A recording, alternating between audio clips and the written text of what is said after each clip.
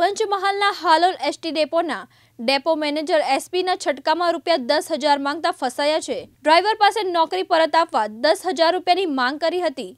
ડ્રાઈવરને દાહોદ સુરતના રૂટની નોકરી ઉપરથી હટાવી દેવાયો હતો.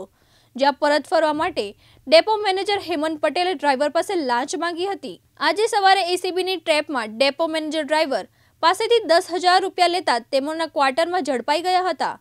હાલોલ ડેપો મેનેજરના ત્રાસથી અનેક કર્મચારીઓ ત્રાહિત છે. દીપક દરજી દિવ્યાંગ ન્યૂઝ હાલોલ પંચમહાલ